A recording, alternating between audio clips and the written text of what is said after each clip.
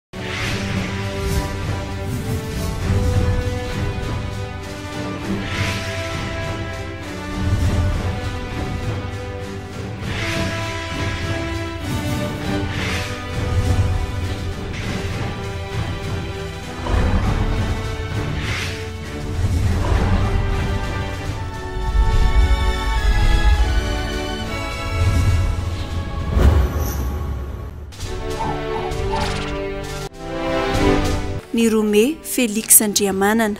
Dokotera nanana ny lazany ary fantatry ny olona tao Antananarivo i Felix Andriamanana. Tany Ambohimiandra no naterahany Nirome roa sy sivinjato sy arivo, tanindrazan'ny dokotera nanana ny lazany teto an-drenivohitra i Felix Andriamanana. Anisan'ireo sekoly namolavola azy ny sekoly anglikana teny Ambohimanoro.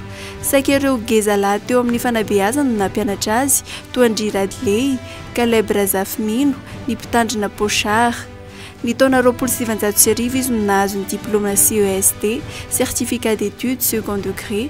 Herintaona taorian'izany no nahazoany CAE, Certificat d'aptitude élémentaire. Niditra nianatra ho dokotera tao Ankadinandriana ka nivoaka ho dokotera tamin'ny taona enina amby roapolo sy sivinjato sy arivo. Nanohy ny fianarana nataony izy ka nahazo ny diplaoma Docteur en Médecine tany ivelany ny taona telo amby telopolo sy sivinjato sy arivo.